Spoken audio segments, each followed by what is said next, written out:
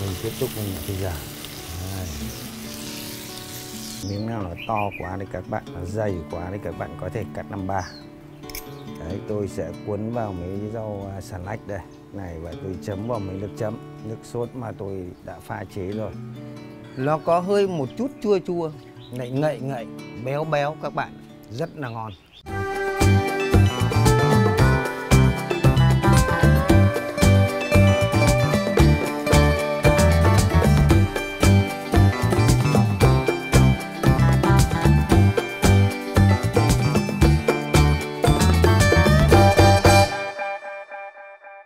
Dạ, chào các bạn, hôm nay tôi xin giới thiệu với các bạn một món là thịt ba chỉ lướng đá các bạn ạ. Bây giờ thì ờ, tôi giới thiệu các bạn là thịt ba chỉ đây là một món chính này. Đấy. Đấy các gia vị nha, có đường là một và đây là mật ong và đây là sữa đặc và đây là tương ớt, hạt tiêu, hạt lêm và mì chính và đây là chao, chao này chao trắng các bạn ạ. Và nước mắm nếu các bạn có chao đỏ thì các bạn không phải dùng nước mắm này nữa nhưng mà chao trắng thì các bạn phải lên có nước mắm nha. Nước sốt ướp thịt đậu xanh đã rang rồi các bạn ạ. Và đây là dầu phi tỏi. Đấy là dầu phi tỏi. Ta bỏ bã ra các bạn và kèm theo là ta có ớt quả và xả chanh và tỏi và hành. Bây giờ tôi sẽ đi làm cái, ờ, cái gia vị này trước nha đây. Ta bỏ bớt cái cuống của xả ra này. Các bạn nhớ là Vì nó già quá ta phải bỏ bớt nó ra. Các bạn không nên dùng coi như thế là nó nhỏ quá mà ta chỉ đập dập. Đấy, đập dập thì các bạn thái nó vừa phải. Không nên nhỏ quá mà không nên dài quá.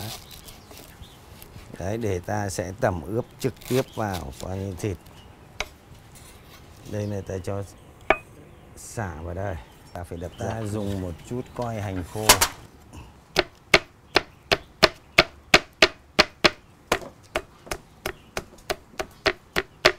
Ta không nên thái nhỏ nhá. Các bạn nhớ là ta để nó to miếng ra. Đây tôi để cho vào trong cái, à, cái đĩa này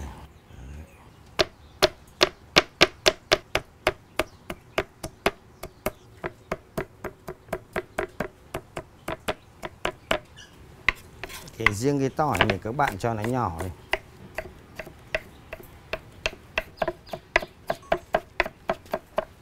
ta sẽ cho vào cái góc đĩa này các bạn Đấy. bây giờ tôi sẽ đi thái thịt đây, các bạn thái cho nó một cái miếng cho nó hợp lý, giống như ba đầu ngón tay các bạn hãy nhớ là khi ta tẩm ướp là phải hai tiếng đấy các bạn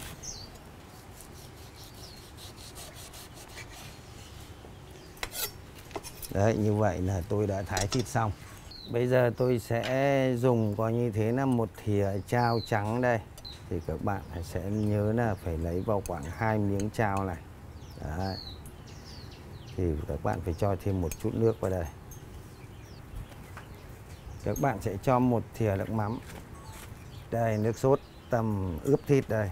Đấy, các bạn cũng cho một thìa.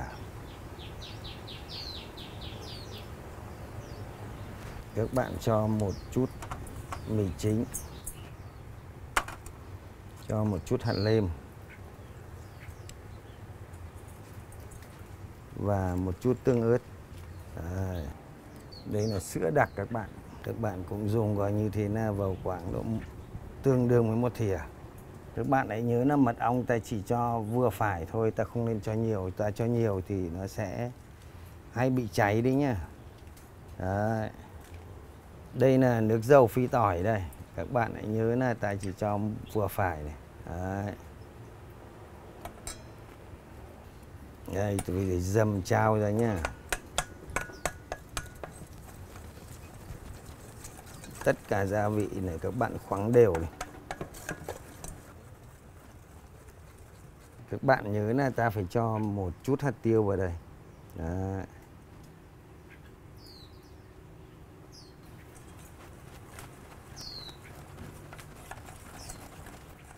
Như vậy là tôi đã trộn đều rồi Tôi sẽ cho thịt vào đây để tôi tẩm ướp nha Thật đều Đấy. Đấy, hương vị đã thấy mùi thơm lắm rồi các bạn các bạn chỉ cho nó vừa phải bởi vì là khi lượng thịt của ta có bao nhiêu thì các bạn phải ước lượng làm sao cho nó đủ cho nó đều đấy là tôi đã trộn tương đối đều thì bây giờ tôi phải cho hành với cái xả nha đấy.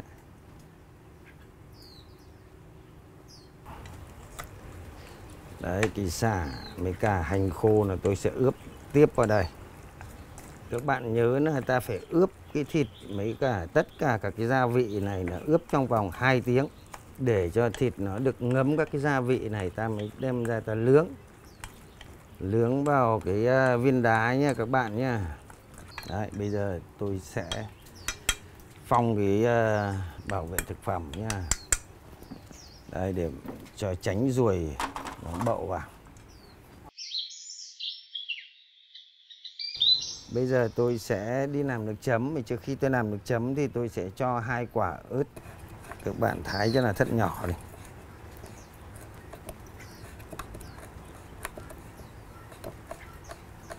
Đây tôi đã thái ớt nó nhỏ biến nó rồi đây các bạn nhá. Đấy, Bây giờ tôi sẽ cho nó vào trong cái bát. Đó. Tôi sẽ đi giã đậu xanh rồi các bạn nhớ đậu xanh đã rang sẵn rồi các bạn Vì dã nhỏ nha các bạn nhớ là như thế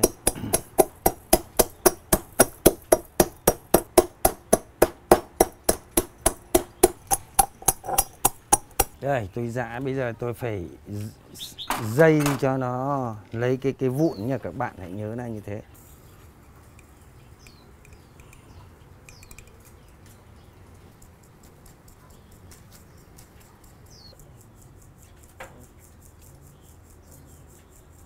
tôi đã dây rồi bây giờ tôi lấy cái phần dây rồi tôi sẽ cho vào trong bát. Đấy, nó chỉ có hơn một thìa thôi. Bây giờ các bạn hãy nhớ là ta sẽ cho một chút đường này. Một chút hạt lêm. Một chút hạt tiêu.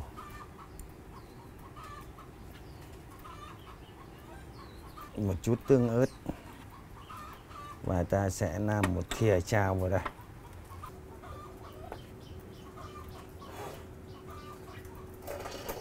Đấy, tỏi ta đã băm rất là nhỏ thì bây giờ các bạn hãy cho tỏi vào đây. Bây giờ ta phải đảo thật đều xong ta cho cái, cái, cái, cái nước cốt chanh vào.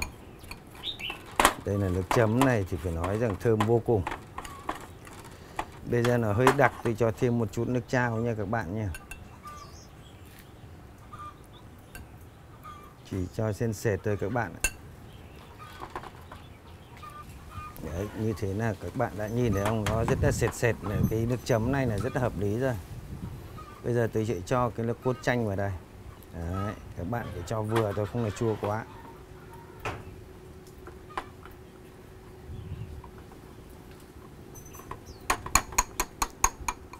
Bây giờ tôi chờ thời gian đủ ướp thịt là tôi đi nướng thịt các bạn ạ đây, tôi gióm bếp rồi mà ướp thịt cũng đủ thời gian rồi, các bạn ạ. Bây giờ tôi sẽ mở cái à, màng bọc thực phẩm này ra nhé. À. Đấy, các bạn nhớ là tôi phải gạt xả mấy hành khô ra nhé Thì nó không lẫn vào, thì ta nướng nó không bị cháy Đấy nhá, các bạn nhớ là tôi phải đun đây này, Đun cho đá nó nóng này, Cái viên đá này phải thật nóng và trước khi để nướng ấy thì các bạn hãy nhớ là ta phải phết một chút dầu lên để xem cái độ nóng của viên đá này là đến mức độ nào đã.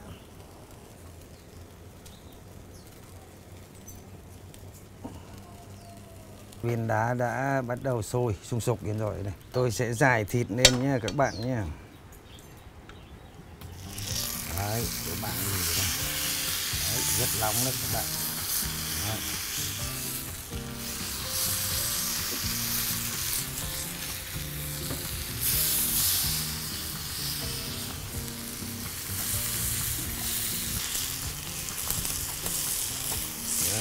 Đá đã, đã nóng rất là tương đối thì các bạn phải cho nhỏ lửa không cho to lửa nữa.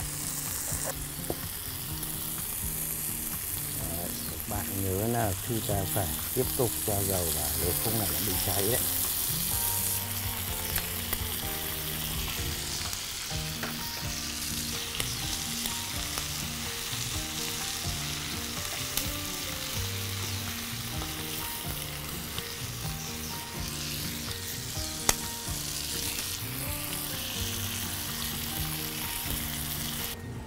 Bạn nhớ là cái miếng nào được thì mình sẽ cho nó ra trước. Đây các bạn nhìn này. Nó đã vàng rất là ngon Đấy. mình tiếp tục mình lại phải giả. Đấy. Đây, tôi sẽ cho ra tiếp. Đây, cái miếng nào chín thì các bạn lại cho ra.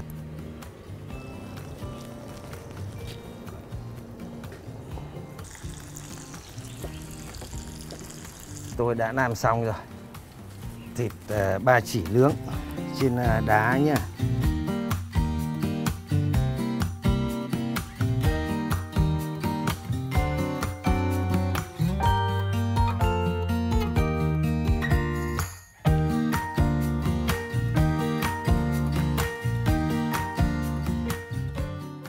Đây các bạn ơi, tôi đã làm xong một cái mẹt này là thịt ờ, ba chỉ nướng trên đá đây các bạn ạ. Bây giờ tôi sẽ kẹp miếng thịt vào đây và tôi sẽ cắt nhé Cắt nhỏ cũng được mà cắt to này cũng được. Đấy. Đấy là tôi sẽ cắt hết thịt ra. Miếng nào nó to quá thì các bạn, nó dày quá thì các bạn có thể cắt làm ba.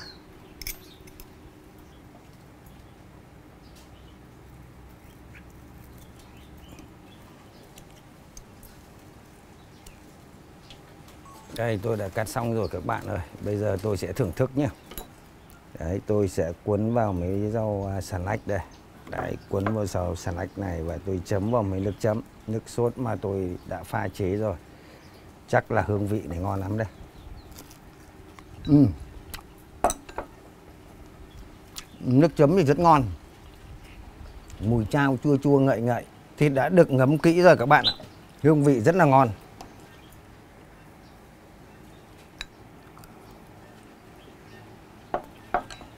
Bạn nào mà ăn kim chi thì các bạn cho thêm một ít thôi, vì kim chi nó hơi đậm mà.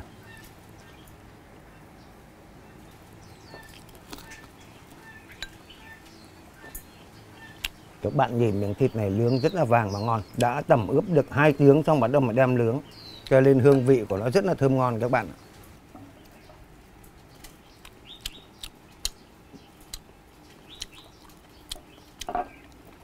một miếng tôi không quấn nhưng thực tế các bạn hãy thấy không? Nó ngấm được tất cả các cái hương vị. Nhất là cái mùi chao nó có hơi một chút chua chua. Lại ngậy ngậy, béo béo các bạn. Rất là ngon.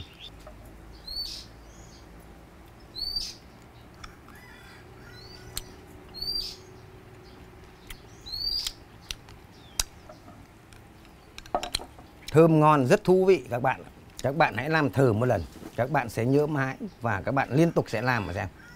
Cảm ơn các bạn đã chú ý theo dõi.